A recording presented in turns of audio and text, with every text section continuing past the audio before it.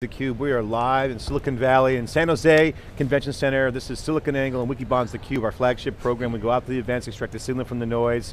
I'm John Furrier, the founder of SiliconANGLE. I'm joined with my co-host. I'm Dave Vellante at wikibon.org. Arun Murthy is here, a CUBE alum, uh, founder and architect over at Hortonworks. Arun, welcome back to theCUBE. Thanks a lot, I mean it's a pleasure to be back. Uh, always fun to be with you guys again. Okay, so I got to ask you, what the hell is a resource negotiator and why does the world need yet another one? That's a great question. Frankly, you know, you know, as I look back, it's it's phenomenally stupid in, in some ways. we were, I mean, you know, as engineers do, right? We, were, we obviously the tech is important and the naming is important, but we were looking around thinking, what is the lamest name we could come up with, right?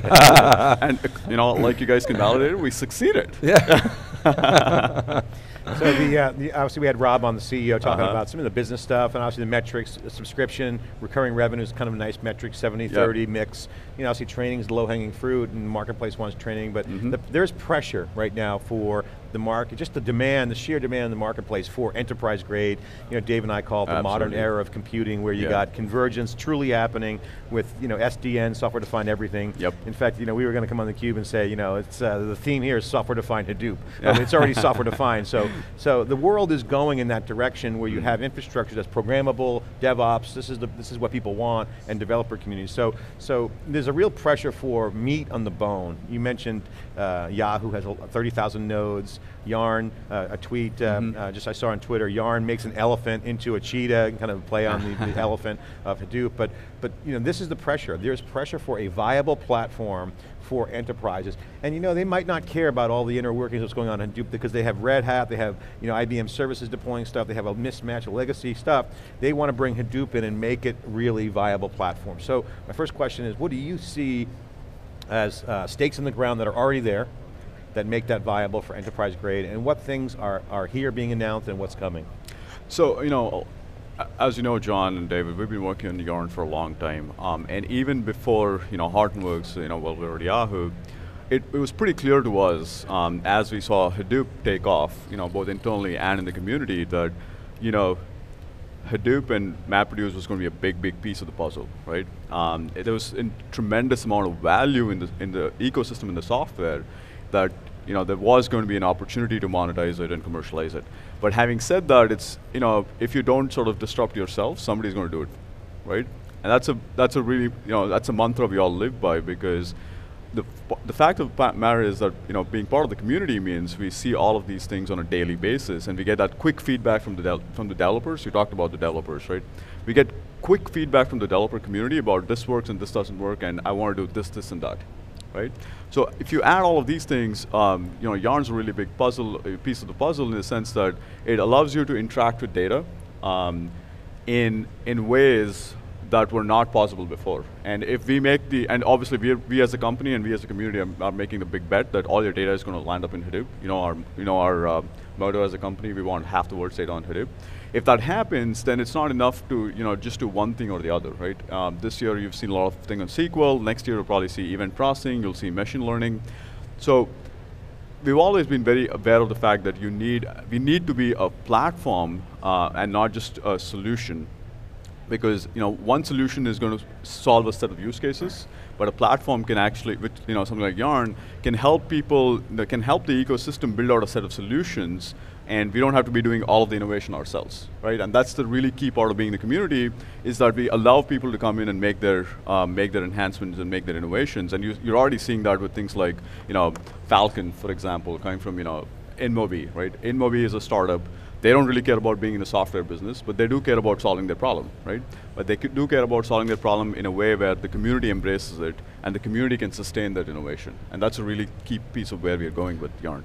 So talk a little bit more about Yarn. So everybody knows Hadoop, and maybe everybody doesn't know. Maybe we can get a little sure. didactic for a minute. So Hadoop is this batch system, and MapReduce allows you to one, run one job at a time. Absolutely. Yarn changes that. Talk about specifically what Yarn is and, and what it enables. Uh, so, you know, a simple way of looking at it, you know, as I talk to a lot, you know, a lot of customers, you know, some of them more savvy than other, right? Talk to a lot of customers and users. A simple way of looking at it is, you know, if you go back three, four, five years ago, uh, well, I went back seven years ago when I was started with Hadoop, was that you could run, you had all your data in Hadoop. You could put any data you want on HDFS. HDFS is great, right? It's uh, really, really economically feasible to store data there. But then MapReduce was the only algorithm you could use to process that data. Um, as any engineer will tell you, that sucks, right? Because there's no silver bullet, right? There's no silver bullet, there's no big hammer. Now, we understood this a long while ago, and what Yarn is, is sort of a, a reimagination or re-architecture of Hadoop itself. And that's a really good, nice way for us to call it Hadoop 2.0, right? It's not just a version number, it's also the second generation of the architecture, right? So Yarn allows you to do multiple applications um, on the same platform while providing you know, core services like resource management, security, multi-tenancy performance. All of these things happen by the platform itself. Now, now you can ask, what, what do I do as a user? As the user, what you get now is the ability to not just run MapReduce on your data, but seven other algorithms, right? Seven other implementations. I mean, I was at this great keynote by um, Yahoo today, where they talked about how they now have you know 300 nodes of real-time event processing on, on, top of Yarn. They have you know 40, 50 nodes uh, worth of machine learning on top of Yarn, and these were not just use cases, but capabilities that you couldn't do with MapReduce. And this is making a meaningful difference to the business at Yahoo, and it's showing you know, what you can get when you actually put a, a more generic system like Yarn below um, what is Hadoop. Yeah, you tweeted out, uh, I picked this up, 30,000 nodes, 400,000 jobs per day, 10 million compute hours per day in Yarn twice as much work on the exact same hardware. It's amazing, isn't it? It's, it's. I mean, I can talk. You know, we can spend another hour talking about you know what it means and why, why, how we did it. But the key part is, it's, it's key to understand that you know, you get significantly more value out of your existing investment, right? And that's a really key message of what you're getting with Yarn. And by the way, we're just getting started. And that, you know, the stats you saw from Yahoo were just, you know, existing MapReduce applications. And that doesn't include all of the new stuff they're already doing on top, which is, you know, Storm or Spark or any of these things. So there are people who would say, well, look, Hadoop was meant to be batch and it should stay batch. Um, uh, but I'm reminded of, because the mainframe used to be batch too, and it became transaction. So is there a bit of a, was there a bit of a tug of war inside the community, or was no. it sort of, everybody sort of agrees this is the direction that we need to go? Absolutely, I mean, you know, we're, in some ways, you know, one of the strengths of the Hadoop community is that it's very pragmatic, right? It's also run by, you know, people who've not only developed the software, but also, you know, supported it at scale. Uh, you know, yours truly, for example, not only was I developing the software, but I was also on hook to actually make sure it works, mm -hmm. right? And that gives you a perspective, um, a discipline, and more importantly, a sense of what is important for the customer. And a little skin in the game. More, more than a little skin in the game. Arun, I, I got to ask you about, obviously getting down the theme of enterprise grade, yeah. security is a big deal. So yeah. identity and authentication uh, is needed. You guys, uh, the support there in the community for that. Yeah. But perimeter security is a big deal with, with REST APIs. So what, what's the answer for that? What are people doing? What should people know about what's being announced here? Is there new security things? There's some talk about uh, Knox out there. What, yep. What's out there right now? So Apache Knox is, is, you know, again, sort of our um, our attempt at taking the use cases and the requirements we're seeing in the enterprise and putting it in the core platform, right? So Apache Knox gives you a single sign-on facility where you can come in one place, authenticate, authorize yourself, and once you get through that, you're done, right? Is that replacing the other project?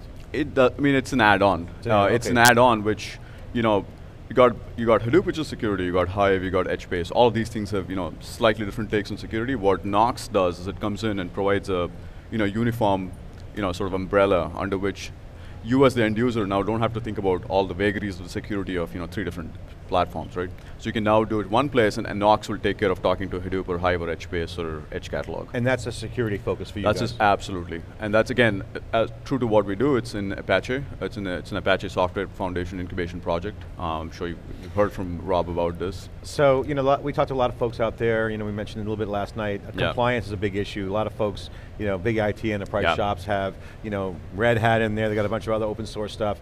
Um, now they want Hadoop. There's a lot of POCs going on a large yeah. scale. They have to have some certain compliance compliance. Um, what are you guys doing in that area? Is there certification involved, or absolutely. What, what's the update in that? So absolutely, we'll definitely work with you know, you know, really really key and important partners like Microsoft, Teradata, Rackspace, and Red Hat. Um, you'll also see us launch. You also see us launch the Yarn certification program. Uh, this allows you know end users, um, more importantly ISVs, to come in, certify their application or tool works on top of Yarn, um, and then it's easy for us to go tell the customer that look, we've certified it. We're we are, you know, we know that this stuff is going to work on Hortonworks data platform and, H and Hadoop 2. So you can be sure that you can, you know, get good support and uh, you know uh, feedback from the vendor. So how do you see this evolving? So Merv today said that uh, security is the weakest link. He called that out. And, and uh, when you talk to a lot of uh, practitioners within IT, they'll say, well, you know, we have our security you know, Sure. edicts, Yeah. and then you know, some line of business will come out and Yeah. do their thing, and, Yeah. and then we go and ask them, are you, you know, compliant? Compliant. And they say, oh, uh, no. Yeah. And, and so it's, it's almost like they got to start over. Can you talk about what's in real world examples, kind of maybe not examples, but, but you know, generalize, what's happening in the customer base and, and how are they going to deal with that problem? So, I mean, you start all the way at the bottom, right? I mean, what we see a lot is, you know, again, you go back to the developers, right? You have a bunch of developers who think Hadoop is the right solution, and it's bubbling up and saying, okay, now we have Hadoop. So what suddenly you see is you get, you know, not one, but, you know, seven or eight uh, implementations of Hadoop in the enterprise. That's when, you know, sort of you know, a vendor like us gets called in and we go in and help them understand it's not just about you know getting an application on top. It's all through compliance and security and auditing and you know all the ITs that are really important for the enterprise. So that's one of the that's one of the main reasons why something like Knox was born. Right, as we saw this happen over and over again, it was pretty evident to us that we had to take that enterprise requirement uh, and solve this in the core of the platform Right. for once and for all, in some sense. Amar's right. I mean, you know, Hadoop has had uh, Kerberos authentication. Um, I would say about three years now. Um, it's not, it's not uh, really young, but not as it really old, right? Um, I remember the time we went through at, uh, when it, then we were at Yahoo, and it was a, it was a sort of a, I wouldn't call it a nightmare, but it's pretty close in some sense. You know, how do you, how do you get everybody to understand what is security and what is Hadoop? So that we see now play out in the enterprise, um, and that's where you'll see once we get Knox going on with with HTTP 2.0. That's where our roadmap is. That'll make it easier and easier. Yeah, and I think a lot of it is like you know, business value. It's like the cloud, right? Yeah. The business value outweighs the risk, so people go forward, they charge forward. Yeah. You know, And then they damn the step back, right? torpedoes, and then Yeah. they right, they Yeah. work like crazy Yeah. to try Yeah. to get it back up. Yeah. Arun, how do you spend your time these days? Obviously, um, you know, Rob was talking about you guys have a nice 70% of your business mix is recurring subscription. Obviously, that means you got some validation with customers, 30% training consultancy, which Yeah. means obviously education, you know, whether it's service providers. You know, it makes a lot of sense. Um, but how do you spend your day with when you talk to customers? I know you, you and I were talking last night. Yeah. You're out with- talking to a lot of your top customers. What are they? What are they saying? What are their top uh, uh, pain points? What's their escalation in terms of solutions and POCs moving to production? What are just some of the trends? Can you share some anecdotal stories or uh, uh, data that you could provide to the audience? I mean, it's it's sort of all across the board, which sort of makes it really fascinating, right? So, uh, you know, so sometimes I go to a you know a customer, uh, let's say you know take Chicago, right, and you're talking to this customer, and you know Let's you're do um, Boston. We don't like Chicago. Dave and I, Dave and I no, I'm only kidding. We're we still like, in mourning. all right, let's say Boston if you want. Um, Blackhawks did a good job with the Bruins. Not the Yeah, but, Yankees, you know, no, Yankees. Red Sox. Yeah. Red Sox. And, uh, okay, stay with Chuck. I'm only kidding. Right. So you know, it's fascinating. You know, you go talk to them, and they're like, you know, you know, I recently had this conversation. Unfortunately, you know, like it was Chicago. Uh, I, I kind of lie about it. And, and this customer is like, you know, we love Yarn. We understand all these things, and this is what we're doing today. And as we see all these use cases, we'd love to move that on Yarn. I'm like, awesome, right? I mean, s frankly, you know, some of it be like, like it's an eye-opening thing for me personally, right? On the other hand, you also go to another set of customers, you know, probably 200 miles north or south, and you have to help them understand what Hadoop is. You have to help them understand that Hadoop is not a silver bullet. You have to go through, you know, the the you, you basically go through the steps of you know crawling before you walk. Uh, we, we're not trying to tell them to you know install Yarn and do seven different things on day one. What we're trying to tell them is you know get your data on Hadoop, make it secure, um, run your basic jobs, prove value to your business, right? Whether it's cost or savings or better insights or, or you know, value from data, and then you, you can go take the next steps. Yeah, I mean, it's the classic early adopters have specific use Yeah. cases, they know what they are, and the, and the, the ones that are just about to cross the, the bridge, if Yeah. you will, the chasm, you know, they, they're trying to figure it out. So give me examples specifically where customers who actually know, I want it for this product, this, this Yeah. project, um, and those use cases, what they look like specifically, and then folks who are kind of like kicking the tires and, and need to be explained, what's their orientation? Be specific around some of the things that they're trying to understand, or- Um, or s- the inhibitors or the objections. Yeah, so I think one of the interesting things that I've seen recently is uh, real-time event processing. People, uh, you saw the Yahoo use cases today, where they want an insight, uh, where they want to click to get in um, into your you know EDL system. They want to price the ad, you know, the real-time media exchange, so on. they want to price the ad in, in response to a click, right? So those sort of things are coming increasingly. Um, I wouldn't say. Um, I don't. I, I, wouldn't say I see it all the time, but you know, it's definitely people are in, are interested. Um, they're seeing, oh, you know, we know that Yahoo is running, you know, Storm on Yarn, for example, or something else on Yarn, um, and and they're like, we want to do this. We love this idea. We love the we love the, the fact that um, we can have one platform and which you can run, you know, MapReduce and batch and interactive queries with Hive, and also interactive interactive sort of real-time processing. Talk about Storm. You mentioned Storm. It's getting yeah. a lot of buzz here. There's some tweets going around that absolutely you know, finally seeing Yahoo kind of talk up Storm. Mm -hmm. What's the latest on Storm? Um, you know, the the really big cool thing for me is you know Yahoo's investing a lot, um, and that's you know that augurs really well for the community. Obviously, you you saw a bunch of uh, you know things come out in um, uh, GigaOM today. A couple of other new startups with uh, sort of real-time event processing engines built again completely on top of Yarn.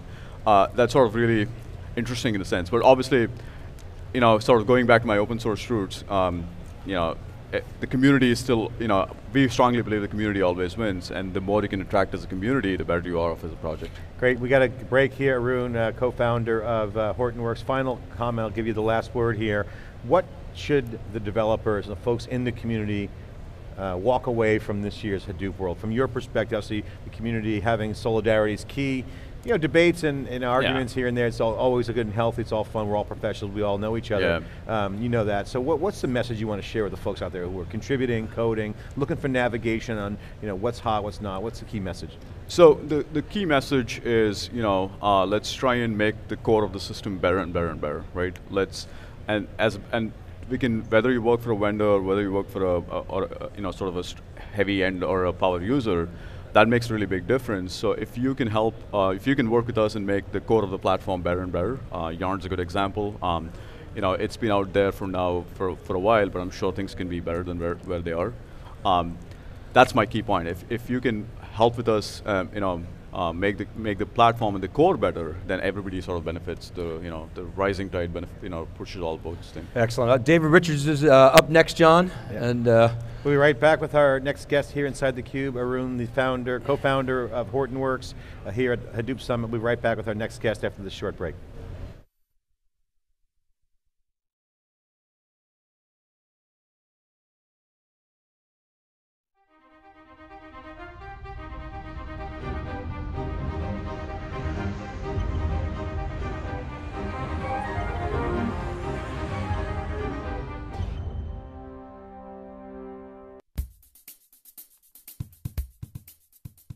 All the programs out there and identified a gap in tech news coverage. There are plenty of tech shows that provide new gadgets and talk about the latest in gaming, but those shows are just the tip of the iceberg, and we're here for the deep dive.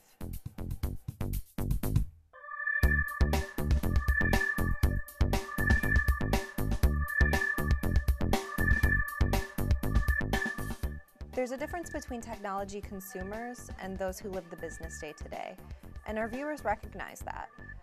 The market begged for a program to fill that void. We're not just touting off headlines. Our goal is to provide you with a story, but we also want to analyze the big picture and ask the question